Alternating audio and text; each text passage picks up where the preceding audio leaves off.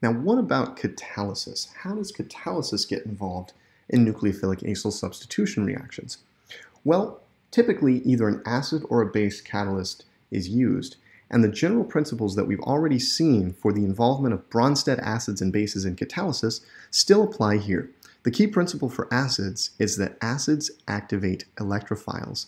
A Bronsted acid engages with the electrophile to make it more electrophilic or more positively charged.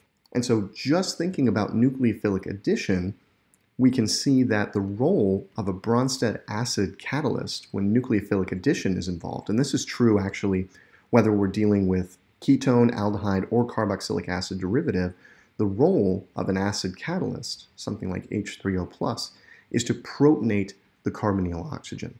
The acid engages with the electrophile, the carbonyl compound, to make it stronger, converting the neutral carbonyl group into a protonated carbonyl group. And now, as you might imagine, think about the alternative resonance structure with positive charge on the carbonyl carbon. This carbon is a very strong electrophile.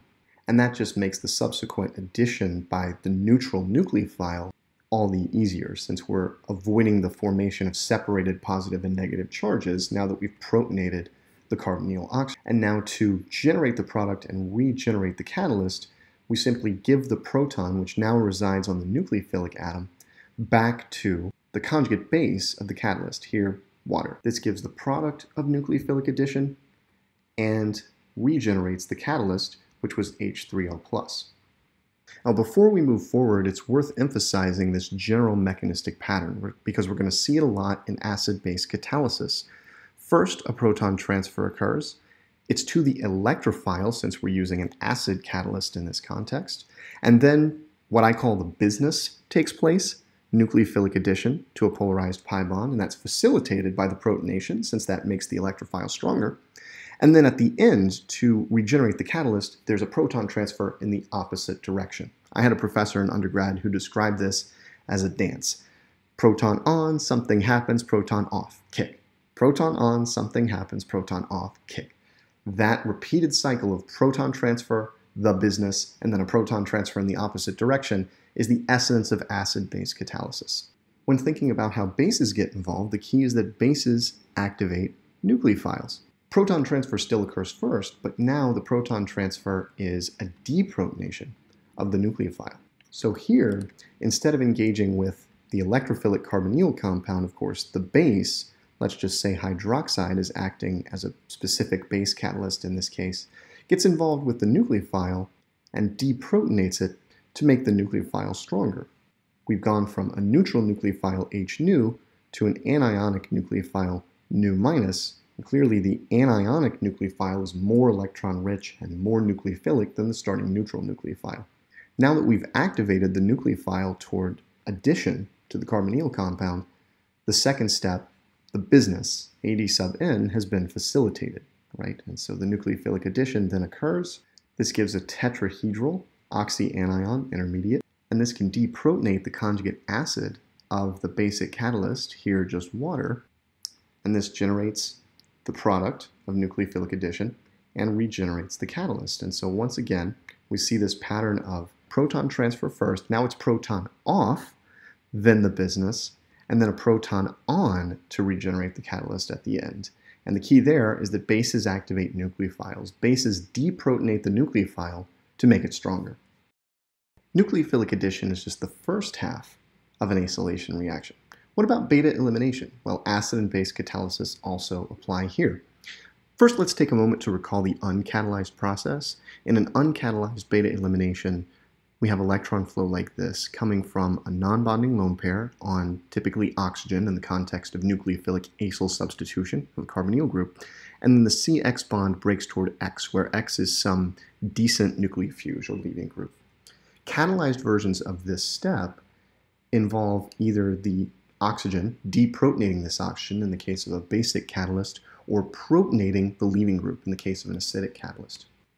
So for example, when an acid catalyst is involved, the idea is that the acid protonates the electrophilic portion. And now, if we think about beta elimination, the electrophile in beta elimination, the thing that ultimately accepts electrons, is X. The protonation of X, the addition of a proton H plus to the X atom, makes it a much better electrophile.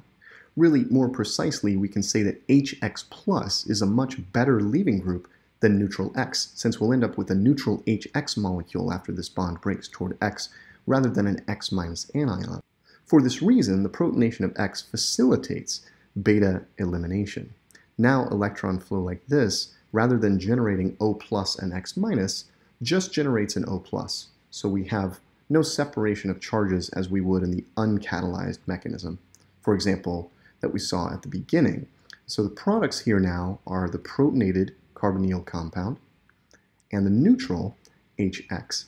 And to regenerate the catalyst, well, we do exactly what we did in the nucleophilic addition case. We simply transfer a proton back to the conjugate base of the catalyst now.